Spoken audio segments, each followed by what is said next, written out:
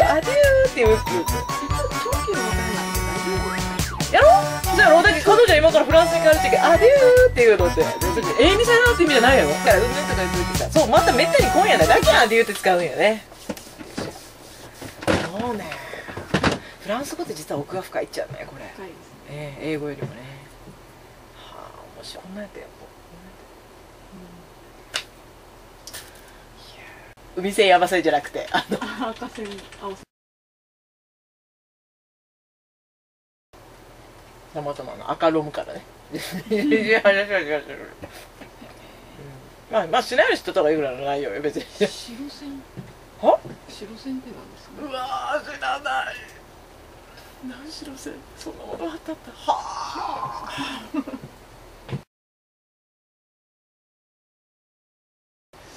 潜りで行われてうわ。じゃあさ逆にさこれさ白ラム赤ラムっていう言い方逆ともは赤ラムの方が OK な言い方やね普通ね。じゃあ逆やね。ね。ね。携帯は白ラムの方が白いわけね。赤赤青白なわけですか。ディープな世界に足を踏み入れたね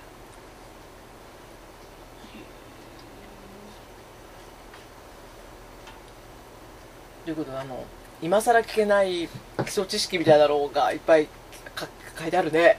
ネットって。でもこれ今も非合法かもしれんけどあるんじゃないの？これって。そうですよね。店の携帯携帯とか。で、うわこれそうこんにちは。集金？集金ですかね。あ払っとって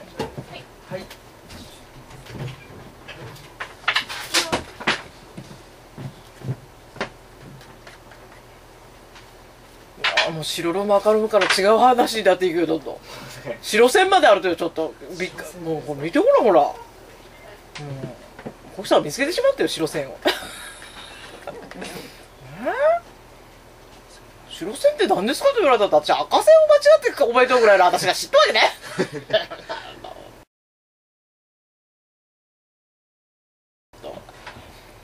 世の中何も知らんけど私あの段ボール箱入り娘やから私びっくりした。もう私の知らない世界がいっぱいある。いや。広がってますね。多分ね試験には出らんと思う。古いお札をさ持ってきて。さ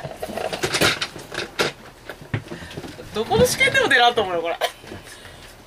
でも春町の試験で出そうかな。一番危険ならどこでしょうみたいな。赤ロブってバルせないからね。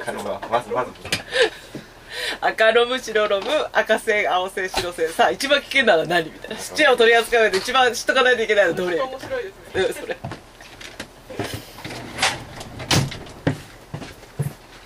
はあ。白線っていう言葉初めて聞いた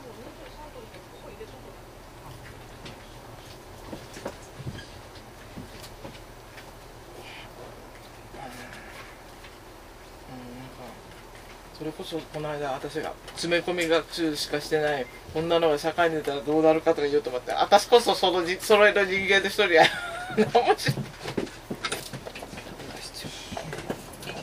タグで本物偽物見分けをしちゃっちゃん買う人は、うん、そこ絶対必要。割と後ろ取って後ろ姿も取ってベルトやけんさベルトのなんかそんなに使われてないっていうのもちゃんと写しとかになる。逆に。それかそんなほらこう。い。や違う。どうけんじゃあイチョウのオスの木メスの木ってメスの木しか銀杏結ばんやない。いやどうけんあれ道元納豆とか私も実はあれね分かったふりして私も分かってないじゃん実は。でも鶏の有精卵無精卵私知っとるくらいだろ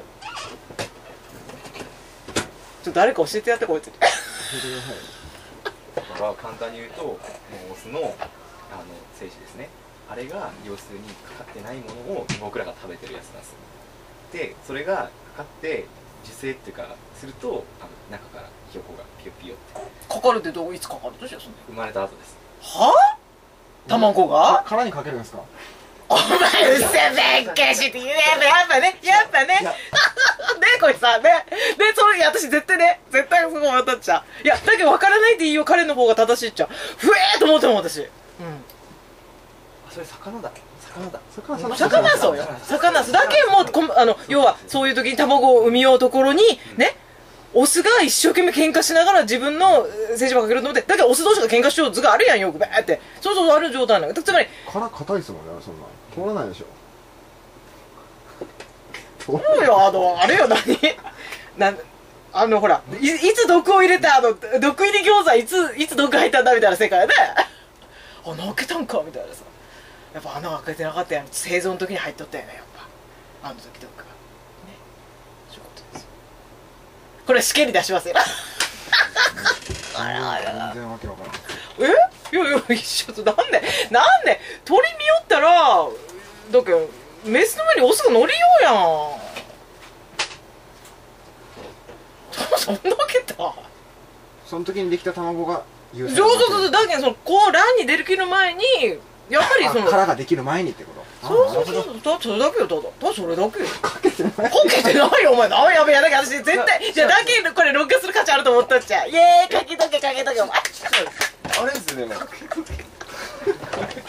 絶対絶対ひよこは生まれ。んあそれとよ。今度はもっとすごいことがあって卵って生まれるやん。でも卵って帰らないかんやない。あれってねこヒナが帰ろうと思ってコツコツコツコツしだすわけ。中からこうで親がコツコツコツコツってしやらんと割れんとよ。でこれが禅の言葉にある。ってつまり本人がそこから生まれろっていう気持ちがない時にいくらつついても帰ろうとせんと。